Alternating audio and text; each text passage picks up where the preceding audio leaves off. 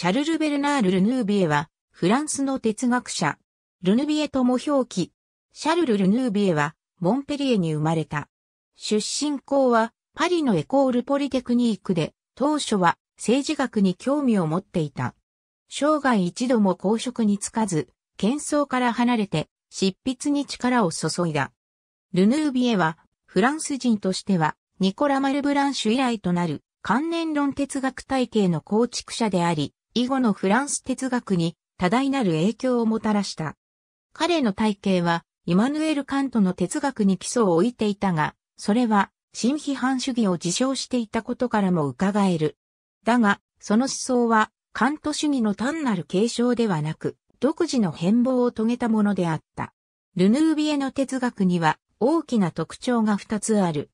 一つは、あらゆる種類の不価値なるものに対する嫌悪、そしてもう一つは、個人的経験の妥当性に対する信頼である。前者の意味は、ルヌービエがカントの現象主義を受け入れつつも、物自体を想定することを拒否したということである。また、一方で、実体的な魂、あるいは仏教的な絶対者、無限の霊的実体の存在に反対しつつも、他方で自然主義的一元論が非神秘的な物体や動的な期待によって世界を説明することにも彼は反対していた。彼によれば現象以外の何者も存在しないが、現象は単に感覚的であるだけでなく、主観的側面と同じ程度に客観的な側面も持ち合わせているという。人間の経験が備えている形式的な組成を説明するために、ルヌビエはカントのカテゴリーを修正して、自らの理論に取り入れた。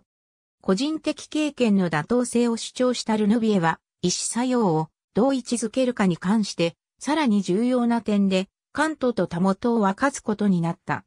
彼によると、自由とは、カントが考えたよりも、はるかに広い意味において、人間の根源的な特性である。人間の自由は、仮想的な英知界においてではなく、現象界において行使されるものだとされる。信念は、知性的なだけでなく、何が道徳的に良いかを肯定する我々の意志の作用によって規定されるものなのである。宗教について、ルヌービエは、ゴッドフリート・ライプニッツとかなり禁じする思想を持っていた。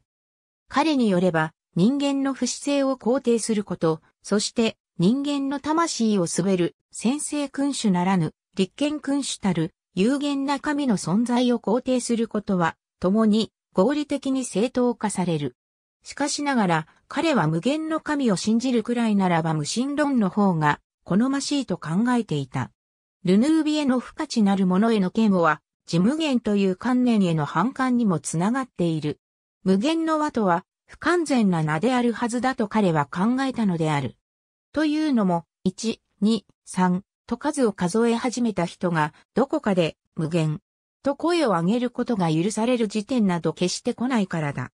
新批判主義的な観点から言えば、無限とは、プロジェクトのことであって、決して事実なのではない。